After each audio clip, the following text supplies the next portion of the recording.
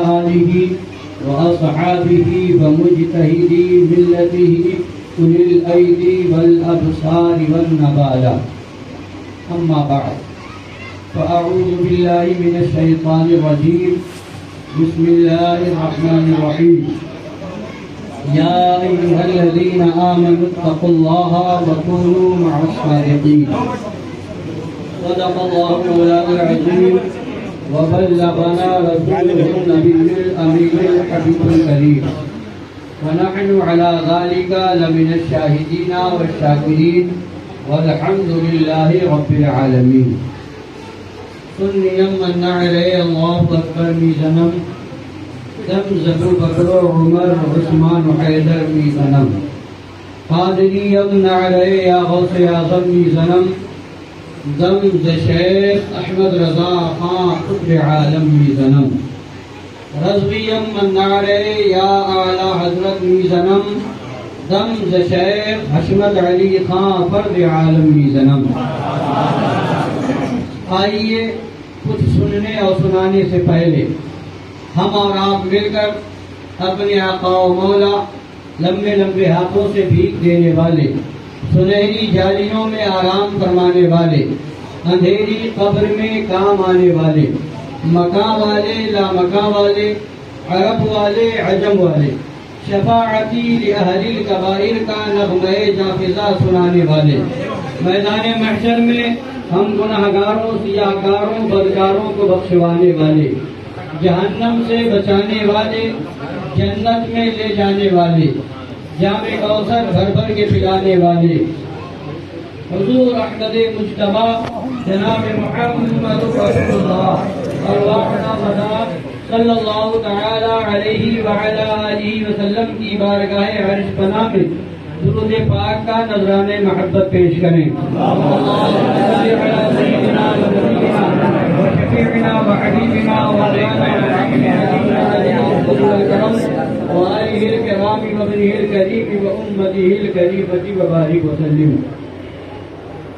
हजरात ग्रामी अल्लाह तबारक वाला का लाख लाख शुक्र एहसान कि उसने हमें अपने महबूब सल्लल्लाहु अलैहि वसल्लम की प्यारी उम्मत की पैदा कर और अपने महबूब का वफादार उम्मती बनाया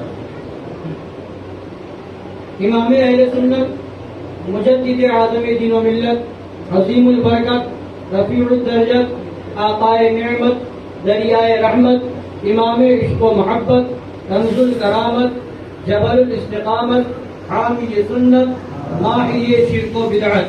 कातिल कुफर दलालत आयतुम मिन आयातिल्लाह मोजिजतुम मिन मोजिजात रसूलिल्लाह। सैदी आकाई मौलाई, मलजाई, सरकार आला हज़रत, फाजिल बरेलवी रज़ी अल्लाह तन बड़े प्यारे अंदाज में इर्शाद फरमाते हैं लहद में इश्क रुखे शह कदाब लेके चले।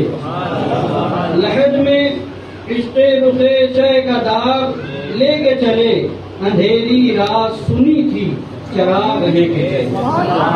अंधेरी रात सुनी थी चराग लेके चले। और फरमाते हैं, या रसूल अल्लाह सलात व तस्लीम, तेरे गुलामों का नक्शे कदम है राह खुदा। तेरे गुलामों का नक्शे कदम है राय खुदा, वो क्या बहक सके जो ये सुराग ले गिरे? वो क्या बहक सके जो ये सुराग लेके चले? और फरमाते हैं, जिना बनेगी मुहिबाने चार यार की कब्र। जिना का माने जन्नत। जिना बनेगी इसकी कब्र? जिना बनेगी, जन्नत बनेगी? मुहिबाने चार यार। ये चार यार के मुहिब हैं चार यार के चाहने वाले हैं नबी के खलफा के सहाबा और अहले बैत के चाहने वाले हैं तो वो कुछ डराने वाले और होते हैं। आला हज़रत ने डराया नहीं है? बल्कि आला हज़रत ने हर जगह रहनुमाई फरमाई है सच्चे सीधे रसूल बन जाओ न यहाँ डरोगे न वहाँ डरोगे। वहाँ भी खास तौर से इसमें कुल्ली टाइप के लोग कई बगड़ी वाले वो आते हैं सांप कब्र में सांप होगा। कब्र में बिच्छू होगा। कब्र में ये अजाब होगा। कब्र में वो अजाब होगा। यकीनन अजाब बढ़त है। उस पर हमारा ईमान है।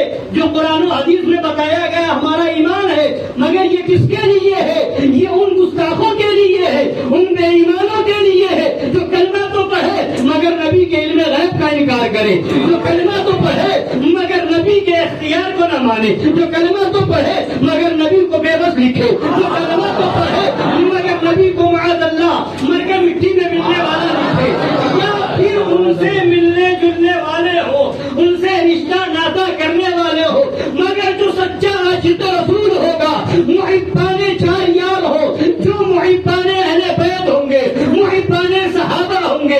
आशिकाने अवलिया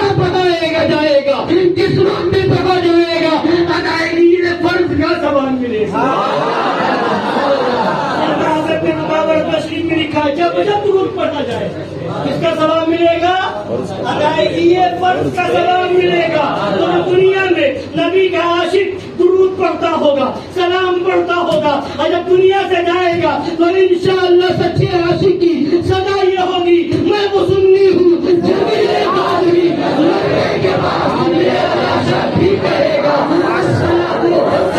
जब इंसान शाम दुनिया से जाएगा तो अब कब्र में न बिच्छू होगा, न सांप होगा होगा।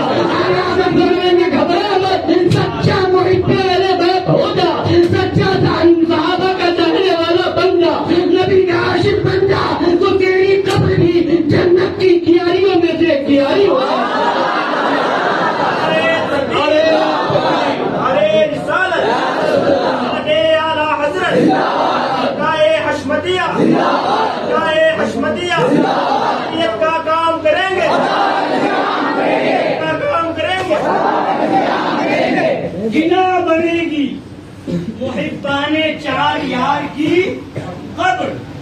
अपने सीने में ये चार बाग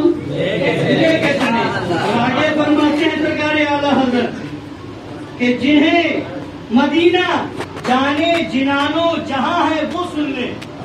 मदीना क्या है? जाने जिना। जन्नत की जान है। मदीना जाने जिनानो जहाँ। जन्नत की भी जान मदीना है सारी दुनिया की जान मदीना है, वो जो न थे कुछ न वो न हो तो कुछ न हो। जान है वो जान है मदीना, जाने जिनानो जहाँ है, वो सुन ले, जिन्हें जुनूने जिना सुए जाग लेके चले। जिन्हें जुनूने जिना, जन्नत का जुनून ऐसा सवार हुआ कि कौवा को भी सवार लिख दिया। कौवा खाने की टिकट जाग माने कौवा। जिन्हें जुनूने जिना सुए जाग जाग की तरफ़ कौवे की तरफ़। मदीना जाने जिनानो जहाँ है, वो सुन ले, जिन्हें जिन्हें जुनूने जिना सूएदार लेके चले। और सुनिए, फरमाते सरकार आला हज़रत, गिला नहीं है, मुरीदे रशीदे शैता से। गिला, हमें कोई शिकवा नहीं, किससे? मुरीदे रशीदे शैतान। रशीद, मुरीद रशीद को चाहिए मुरीद। किसका? शैतान का।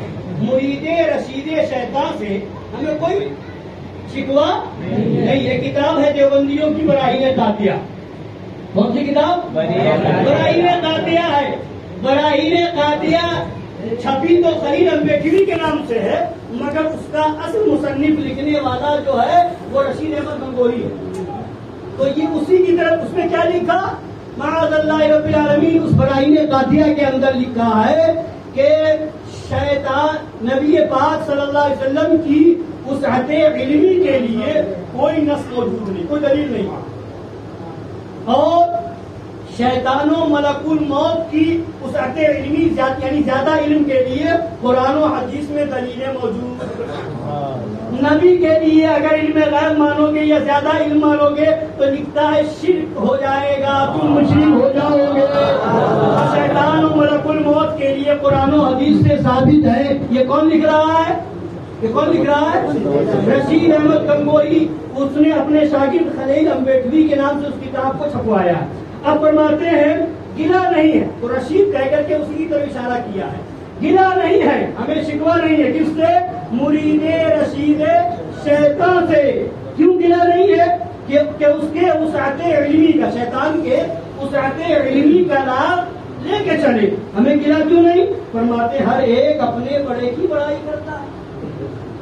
तुम शैतान के लिए कह रहे हो कि उस शैतान की उसाते इल्मी कुरान से साबित है, हदीस से साबित है? नबी के लिए कह रहा मानोगे तो शिरक हो जाएगा। और हम अहले सुन्नत जमात, अल्हम्दुलिल्लाह, ये कहते हैं, कुरान के पारे उठा करके देखो, कुरान के सफात का मुताला करो। कहीं नबी का इख्तियार नज़र आएगा, कहीं रसूल नज़र आएगा, कहीं नबी की शान अजमत नज़र आएगी। और कुरान के अंदर तो इल्म गैब के ताल्लुक से नबी आयतें मौजूद है। खुदा फरमाता है वो अल्लाह का मालम तकुन तालम वकाल फजलुल्लाह जो कुछ आप न जानते थे, अल्लाह ने सब सिखा दिया है अल्लाह ने सब बता दिया है कुरान पाक के अंदर है अल्लाह तबारक व तआला इरशाद फरमाता है आलिमुल गैबी फला युज़हिरु अला गैबी अहदा इल्ला मन इर्तदा मिन रसूल यानी मफहूम ये है कि अल्लाह आलिमुल गैब अपने गैब पर हर एक को मुत्तला नहीं करता बल्कि अपने पसंदीदा रसूलों को खबर दे देता है। उन्हें मैं बता दिया जाता है। कुरान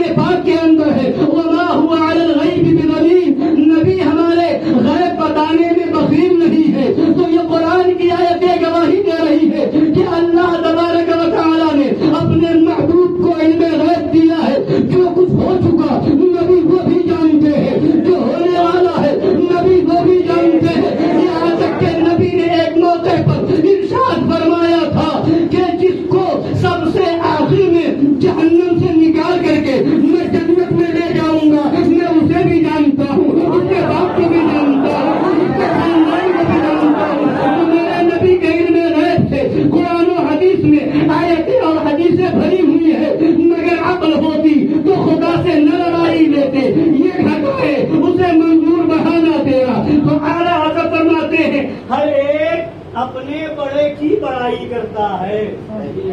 उसने लिखा, शैतान को ज़्यादा इल्म है। हम कुरान की आयतें पढ़ रहे हैं, हम इसे पाक पढ़ करके बता रहे हैं। जैसा इल्म नबी को है, वैसा न किसी को था, न है और न हो सकता है। तो ये हमारा अकीदा है। क्यों? इसलिए कि हमने नबी को बड़ा माना है, हमने शैतान को बड़ा माना है। तो हमारा इख्तलाफ यही खत्म हो जाता है। जिससे शैतान की पैरवी तस्लीम हो, वो वहाबी बन जाए। जिससे शैतान की गुलामी चाहिए, वो देवबंदी बन जाए हम तो गुलाम रसूल है। हमारा तो ऐलान ये है। हमारा तो कहना ये है। हमारा तो तरीका ये है कि मोमिन वो है जो उनकी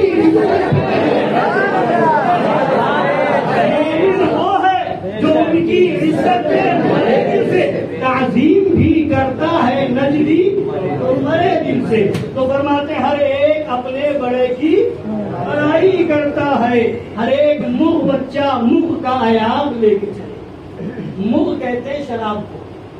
मुख कहते शराबी को। मुख बच्चा, शराबी का बच्चा। आयाब कहते हैं शराब का जो प्याला होता है। जिसमें शराब पी जाती है, उसको आयाब कहते हैं। तो फरमाते हैं, हर एक मुख बच्चा, यानी शराबी का बच्चा, मुख का आयाब यानी शराबी का प्याला जब बाप शराब पीता होगा तो बेटे के हाथ में शराब का प्याला होगा। बाप अगर चोर होगा तो बेटा भी बाप को देख करके चोरी करेगा। बाप अगर झूठ बोलता होगा तो बेटे के अंदर भी झूठ बोलने की खसरत पैदा होगी। जैसा बाप करेगा, बाप को देख करके बेटा भी किया करता है। तो हर एक अपने बड़े की बड़ाई करता है। फरमाते, हर एक अपने बड़े की बड़ाई करता है। हर एक मुख बच्चा मुख का आयात लेके चले तो तुमने जिसको बड़ा माना, उसकी तुम तारीफ़ करो। जिसे हमने जिसे हमने बड़ा समझा, उसकी अजमत हम बयान करें। तुम्हें अगर नबी की अजमत नज़र नहीं आती तो बेबस क्यों लिख रहे हो? आओ चलो बरहरी शरीफ चलो। पूछो आला हज़रत से, नबी का इख्तियार क्या है? नबी का पावर क्या है? तो फरमाते हैं, हाथ जिसम को उठा, धनी कर दिया पकड़े समाहत पे लाखों सलाम। नबी का आलम क्या है? तो फरमाते मालिक कौनाइन है?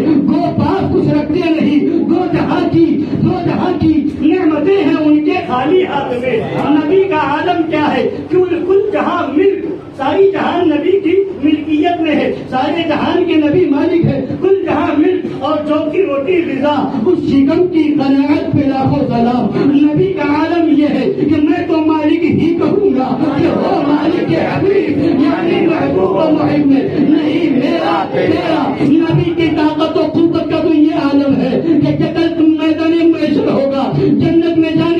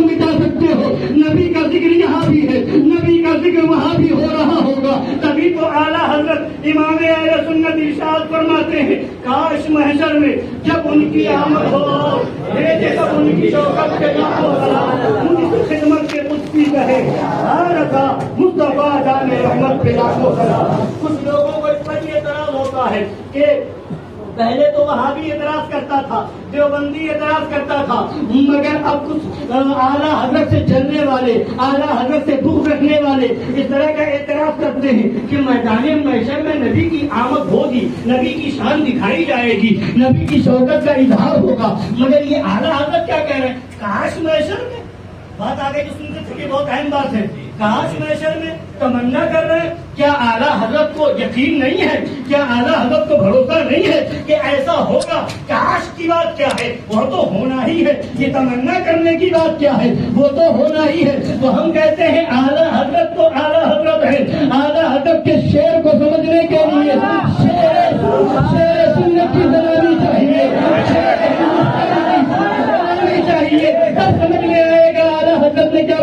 है। हज़रत मुस्लिम साहब मौजूद है, जिनकी मेहनतों का ये नतीजा समझ में आ रहा है कि इन्होंने अल्हम्दुलिल्लाह, यो अलम उठाया है। मसर के आला हज़रत की खिदमत का आपके लिए लाजिम है कि आप इनके कुत बाजू बने, इनका साथ, इसलिए कि ये यहाँ काम करने आए हैं। तो मसर के आला हज़रत का काम करने आए हैं। का काम करने आए हैं। हज़रत अब सुनिए, आला हज़रत क्या फरमा रहे हैं? काश अल्लामा मुस्लिम साहब किबला मौजूद है? आप इनसे पूछेंगे, कभी ऐसा होता है जब शेर कहा जाता है, कोई शेर बोला जाता है अशार जब लिखे जाते हैं कभी कभी ऐसा होता है। शेर किसको कहते हैं? शेर के दो हिस्से होते हैं, जिसको मिसरा कहा जाता है। दो मिसरे मिल करके एक शेर बनता है। दो मिसरे जब मिल जाए तो एक शेर बनता है। जैसे मुस्तफ़ा जान रहमत पे लाखों सलाम, एक मिसरा हो गया। समय बसले हिदायत पे लाखों सलाम, ये दूसरा मिसरा। दोनों को मिला दिया जाए तो क्या हो गया? शेर।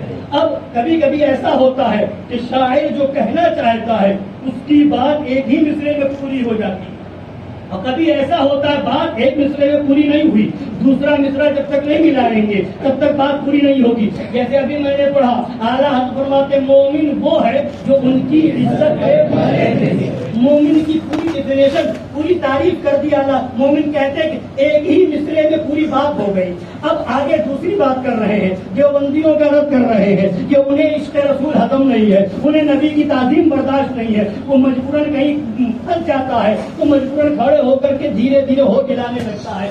मरे दिल से वो खड़ा होता है। दिल मुर्दा होता है ताजीम करना नहीं चाहता मगर खड़े होकर तो, और तो कभी कभी ऐसा होता है कि एक मिसरे में बात पूरी नहीं हुई दो मिसरे मिल करके पूरा शेर जब पढ़ा जाएगा तब बात पूरी होती है। और कभी कभी ऐसा होता है कि एक शेर में बात पूरी नहीं होती जब तक दूसरा शेर आगे वाला शेर न पढ़ा जाए। उसी को कथा कहते हैं। उसी को क्या कहते हैं? पता जो पुरानी हदायत बख्शिश आप उठाएँगे। आला हज़रत सरकार के जमाने की या उनके बाद के जमाने की जब देखेंगे तो वहाँ पर इन दोनों शेर के बीच में लफ्ज आप बना हुआ है। आपका का मतलब यह है कि ये पता है। तो क्या मतलब? आला हज़रत क्या बता रहे हैं? आला हज़रत ये नहीं कि तमन्ना कर रहे हैं, यकीन नहीं है। इस पर बल्कि ये फरमा रहे हैं कि इसका ताल्लुक आगे वाले शेर से है। यानी लफ्ज काश जो यहाँ पर है काश मैशर में, इसको अभी यहाँ से उठा लो, अभी यहाँ रोक लो। काश न पढ़ो, आगे पढ़ो। मैशर में जब उनकी आमद हो और मैशर में जब नबी की आमद हो तो क्या हो? मैशर में जब उनकी आमद हो और भेजे सब उनकी शौकत पे लाखों सलाम, सब नबी की शौकत पे लाखों सलाम भेज रहे होंगे। सलातो सलाम का खराज अकीदत पेश किया जा रहा होगा। तो ऐसे आलम में अब यहाँ आगे का शेर मिलाओ। अब यहाँ लफ्ज काश को, काश का ताल्लुक यहाँ से नहीं है। आगे वाले शेर से है। मैदान मैसर में जब नबी की आमद होगी, लोग सलातो सलाम पढ़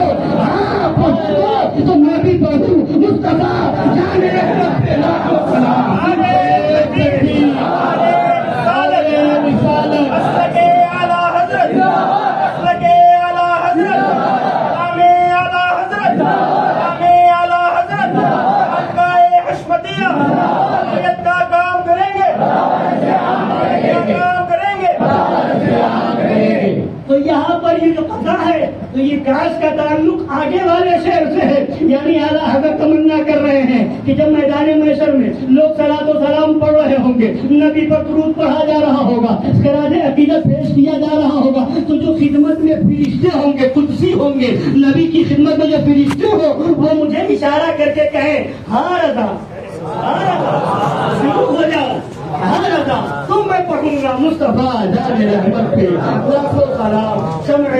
बस में हिदायत पे, लाखों सलाम, क्यों ये तमन्ना कर रहे हैं इसलिए तमन्ना है कि ये दुनिया भी नबी के लिए है, वहाँ भी नबी के लिए है। ये कायनात बनाई गई नबी के लिए, आसमान बनाया गया नबी के लिए, ज़मीन बनाई गई नबी के लिए, अर्श बनाया गया नबी के लिए, फर्श बनाया गया नबी के लिए, सारी कायनात बनाई गई नबी के लिए। हम आए यहाँ तुम्हारे लिए, उठे भी वहाँ तुम्हारे लिए, ज़मीन और समा तुम्हारे लिए मकीनो मकान तुम्हारे लिए चुनीनो चुना तुम्हारे लिए, बने दो जहाँ तुम्हारे लिए। या रसूल अल्लाह हम आए यहाँ तुम्हारे लिए।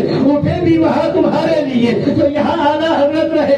ज़िंदगी भर नबी की शान बयान की, नबी की अजमत बयान की, नबी के इल्म गैब को बताया, नबी के इख्तियार को बताया, नबी के फजाइल मनातिब को बयान किया। और तमन्ना ये है कि वो भी तो आपके, दुनिया में तो हम करते रहे, मगर आखिरत भी तो आप ही के लिए है। उलमा फरमाते हैं मैदान मैशर में, एक दिन मैदान मैशर का, कयामत का एक दिन पचास हज़ार साल के बराबर होगा। उलमा फरमाते हैं, चंद घंटे के अंदर सबका हिसाब किताब हो जाएगा। चंद घंटे में सबका हिसाब किताब हो जाएगा। तो फिर इतना लंबा दिन, इतना बड़ा दिन, पचास हज़ार बरस के बराबर, ये क्यों बनाया गया? तो आला हज़रत के बराबर मोहतरम। उस्ताद जमन फरमाते हैं, फकत इतना सबब है का कि उनकी शान महबूबी दिखाई जाने वाली है। दुनिया में बेबस कहने वालों का देख लो दुनिया में इनकार करने वाला नदी की अजमत देख लो दुनिया में नदी के इल्म गैब का इनकार करने वाला नदी का इल्म गैब देख लो दुनिया में नबी की अजमत पर एतराज़ करने वालों नबी की शान देख लो। तो क्या कयामत का दिन इसीलिए होगा कि नबी की अजमत दिखाई जा रही होगी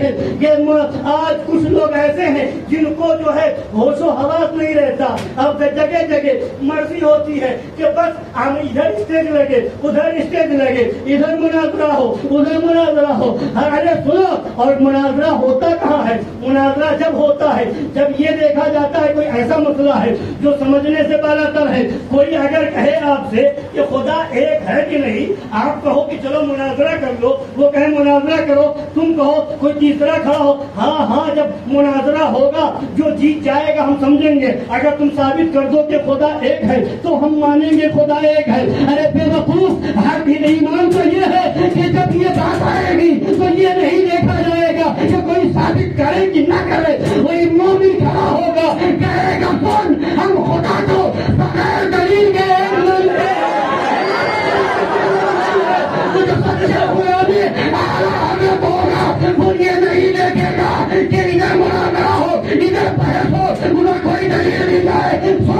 सुन हमने नबी को बाइख्तियार जहन्नम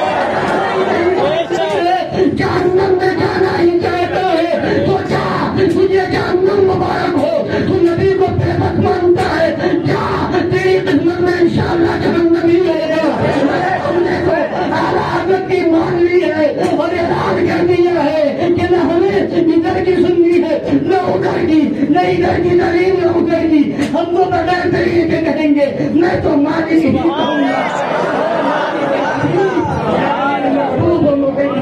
नहीं मेरा तेरा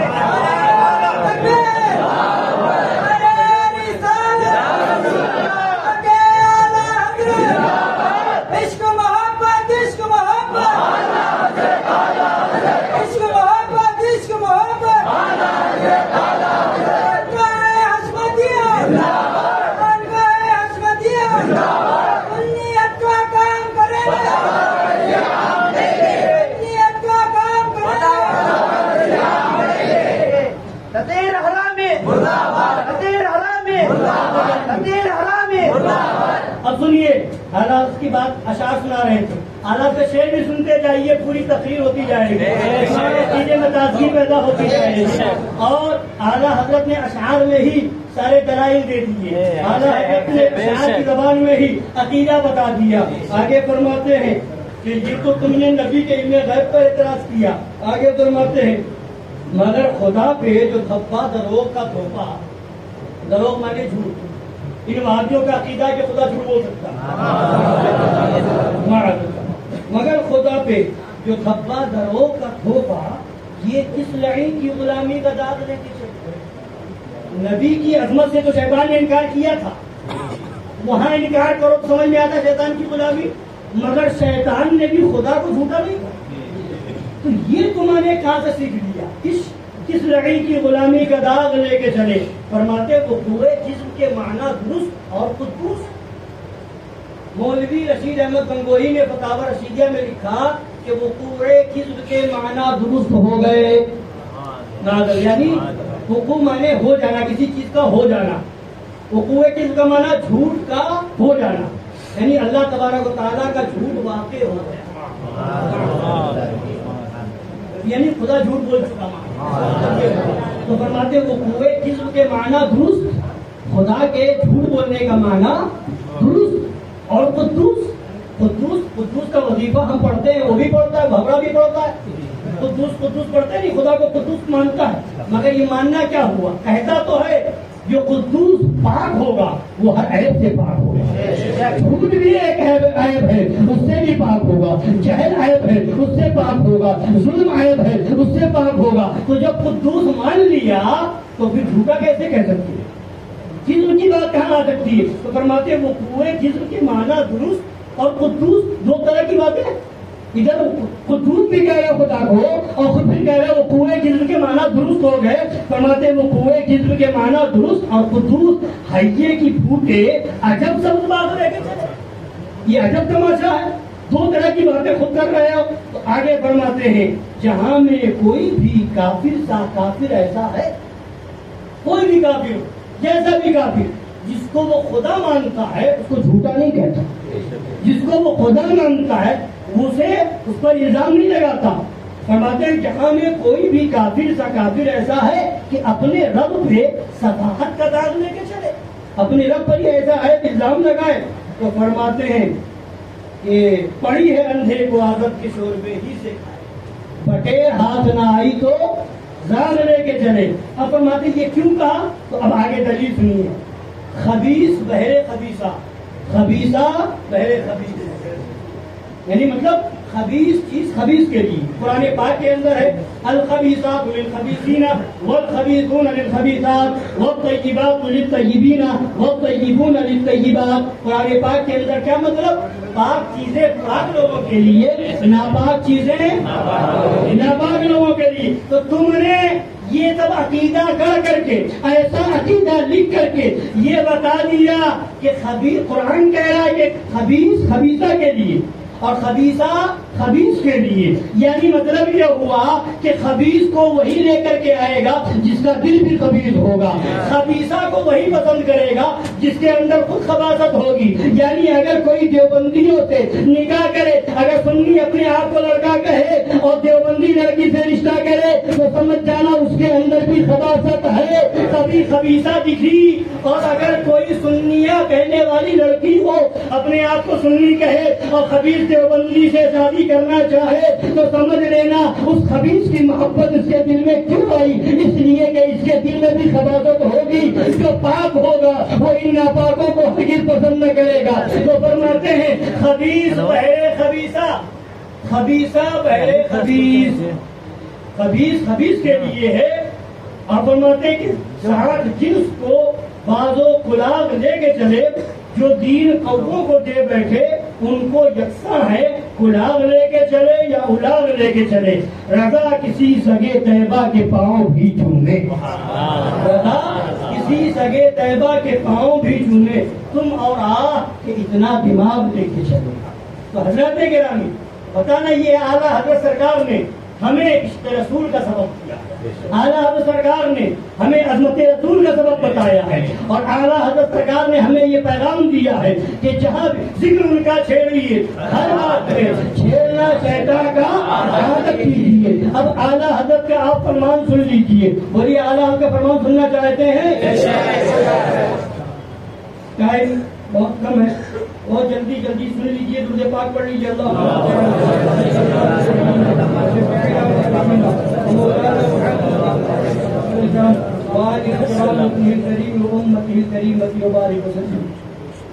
क्योंकि अभी उधर क्या नाम है वहाँ भी प्रोग्राम है, अभी इंशाल्लाह ताला वहाँ भी पहुँचना है।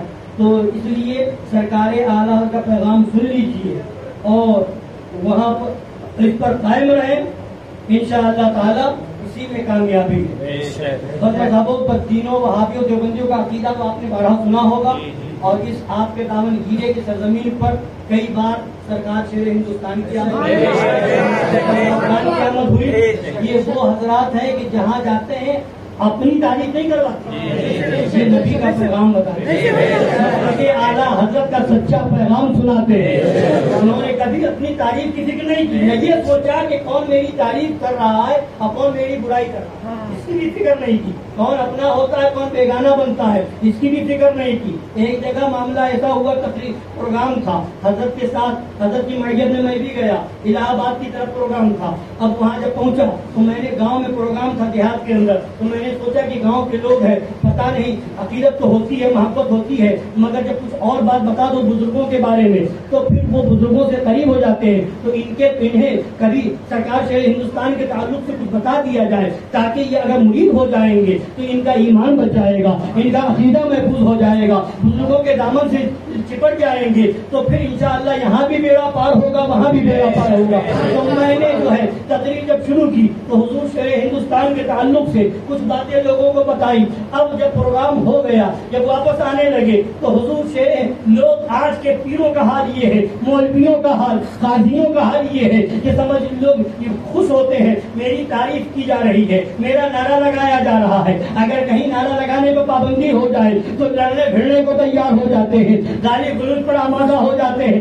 वगैरह वगैरह। मगर हुजूर शेर हिंदुस्तान की जात ये है। हालाँकि हज़रत ने फरमाया नहीं था, मैंने खुद अपनी मर्ज़ी से बयान किया था। जब वापस होने लगे तो हज़रत ने फरमाया, कहीं भी जाओ मेरे साथ, खास तौर से जब रहो तो ईमानो अकीदा की बात बताया करो। मेरे बारे में कुछ मत बताया करो। ऐसा ना हो कि लोग ये बदगुमानी करें, कि लोग समझे कि इसीलिए साथ में लाते ताकि उनकी तारीफ़ करो। मेरी तारीफ़ की ज़रूरत नहीं है। ज़रूरत इस चीज़ की है कि लोग बहानियों से दूर हो जाए। लोग नजरियों से दूर हो जाए। लोग खुलापनियों से दूर हो जाए। तो ये कौन सी जात है? ये वो जात है जिन्हें अपनी फ़िक्र नहीं होती है। तो वो जात भी बारहा इस दामन गिरे की ज़मीन पर तशरीफ़ ला चुकी उनके शहजाद खान तशरीफ़ ला चुके मगर बात ये है कि जो हक वाला होता है उनके साथ कुछ नमक हराम भी हुआ करते हैं। धोखा देने वाले भी होते हैं। उन्हीं के नाम पर खाया उन्हीं के नाम पर कमाया, उन्हीं के नाम पर झंडा वसूल किया। आज उन्हीं के बागी बन गए। आज उन्हीं की गद्दारी कर रहे थे आओ वो भी किस बात पर? हक की बुनियाद पर। सुनो, तुम दुनिया में ये सब कर सकते हो, मगर आँख बंद होने के बाद कब्र में भी पूछा जाएगा और मैदान मैशर में भी हिसाब लिया जाएगा। उन्हें क्या है? उनकी रात तो ये है, उनकी शान तो ये है कि जिधर पहुँचे उधर उन्होंने क्षमा को रोशन कर दिया दिया। वो और कोई होगा जो ये देखा करता होगा कि चलो उधर को हवा हो जिधर की मगर शेर हिंदुस्तान वो नहीं है कि उधर चलो जिधर की हवा हो वो तो वो है कि हवा लाख चल रही हो फजाए लाख मुखालिफ हो मगर जो हक का पैगाम सुनाना है, वो सुनाना है जो बताना है वो बताना है अल्हम्दुलिल्लाह, फख्र करने की चीज़ है कि हमें ऐसे पीर का दामन मिला शमशेर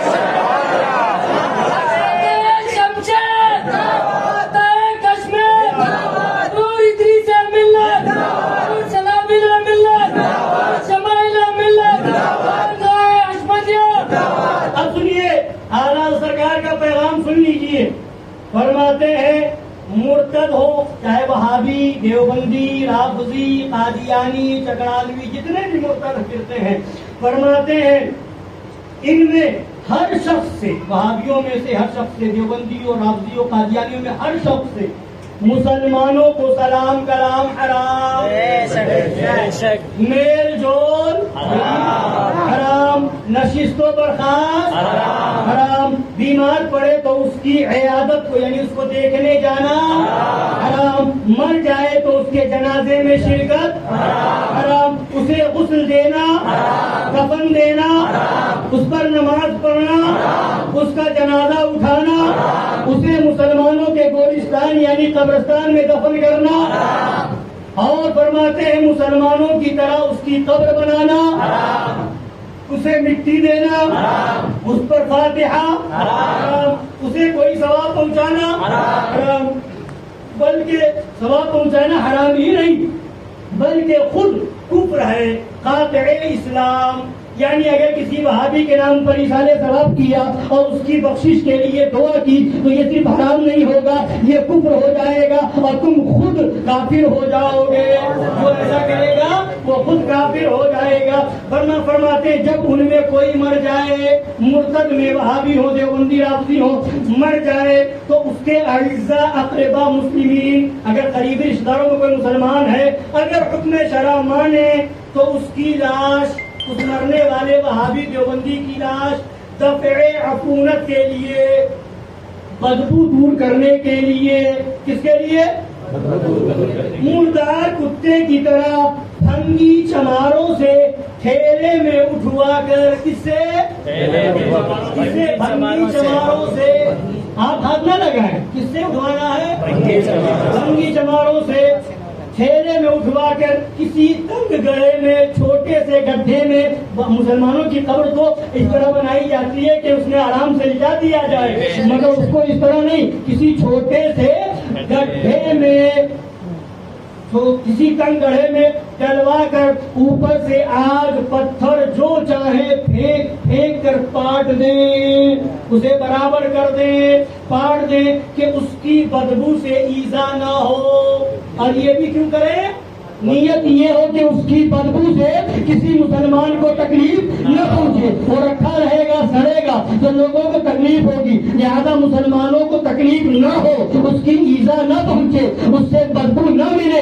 इसलिए उसे छोटे से गड्ढे में रख करके जो भी चीज़ आग, पत्थर, मिट्टी, जो भी हो, उससे, उसको भर करके उसको फाड़ दिया जाए, बराबर कर दिया जाए।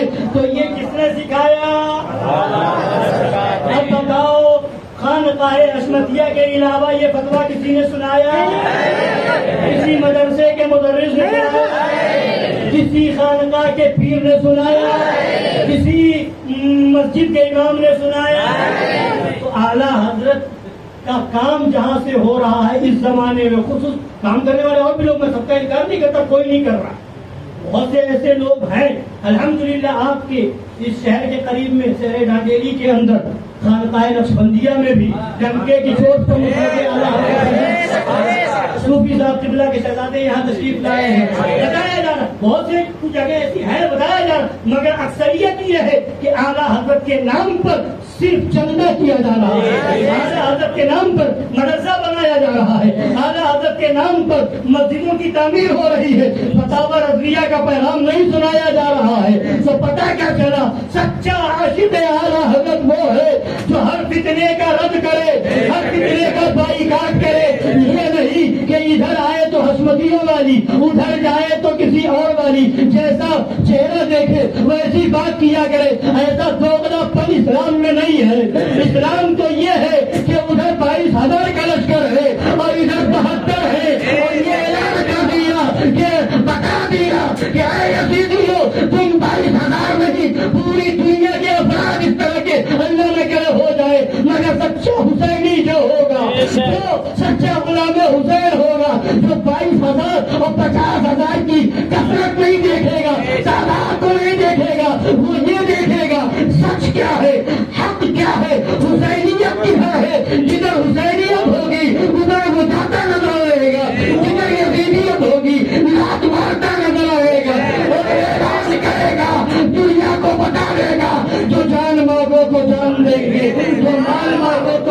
तो मगर ये हमसे कभी न होगा कि नबी का जाओ हो दे आखिरी बात टाइम भी ज़्यादा हो रहा है। बस एक बात सुन लीजिए कि सरकार आला हज़रत रज़ी अल्लाह तआला ने फरमाया है, और तमीद ईमान शरीफ में भी इसी तरह की बात है।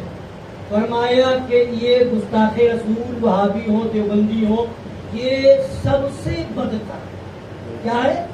सबसे बदतर। और उसे जो बदतर ना माने, या उसे बदतर कहा जाए, उसका रद्द किया जाए, किसी को बुरा लगे तो फरमाते, ऐसा शख्स अपने आप को मोमिन कहने का हकदार नहीं मोमिन अगर हो तो तुम्हें बुरा भी नहीं लगना चाहिए। तो जाते हैं, इतना रख क्यों करते हैं? इतना उसको बुरा भला क्यों कहते हैं? हम मानते हैं बुरे, मगर इतना क्यों? तो आपको तकलीफ़ क्यों? आपका क्या ताल्लुक तो मतलब क्या? तो बताते सुनिए, सबसे बदतर, और आला ने यू नहीं फरमाया, बस मुख्तर बात सुन लीजिए। हदीस पाक के अंदर फरमाया, अहलुल बिदअ किलाबो अहलिन्नार। अहलुल बिदअ किलाबो हदीस पाक है। बिदअती लोग, बदमज़हब लोग, जहन्नमियों के कुत्ते हैं। किसके कुत्ते? जहन्नमियों जहन्नमी कुत्ते भी नहीं। जहन्नमियों के कुत्ते। जो जहन्नमी है, उस जहन्नमी का कुत्ता बदमज़हब। ये कौन कह रहा है? हमारे नबी फरमा रहे हैं। हदीस पाक है। अहलुल बिदअ किलाबो अहलिन्नार बद मज़हब बद अकीदा भाभी हो, देवबंदी हो राफी कादियानी कोई भी हो, क्या है ये? जहन्नमियों के कुत्ते हैं। और आला फरमाते, जहन्नमियों का हाल क्या है? कुरान पाक के अंदर उलाइका हुम शर्रुल बरिया। जहन्नमियों के बारे में खुदा फरमा रहा है, उलाइका हुम शर्रुल बरिया। ये जहन्नमी लोग सारी मखलूक में सबसे बदतर जहन्नमी लोग सारी मखलूक में सबसे बदतर। जहन्नमी सबसे बदतर। और उस जहन्नमी का जो कुत्ता होगा, वो कितना बदतर होगा? जहन्नमी सबसे बदतर। और उस जहन्नमी का कुत्ता कितना बदतर होगा? ये कुरान हदीस से साबित हो गया कि सारी मखलूक में सबसे बदतर जहन्नमी और जो बदमजहब है, वहाँ भी हो, देवबंदी हो राबजी हो, कादियानी हो, वो उन जहन्नमियों के कुत्ते हैं तो ये कितने बदतर हो गए। तो आप बताइए, इतने जो बदतर हुए, क्या इनसे सलाम किया जा सकता है? इनसे मुसाफा हो सकता है? इनसे रिश्ता नाता हो सकता है? इनसे किसी तरह का तमन्नुक बनाया जा सकता है? इनसे इनके वहाँ जाकर के खाना खाया जा सकता है क्या किसी जगह किसी दावत में जब भी हो तो वहाँ ईमान वाला खाना खाएगा?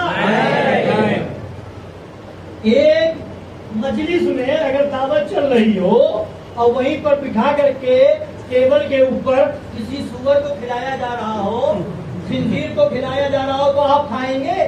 कोई खाएगा? कोई नहीं खाएगा।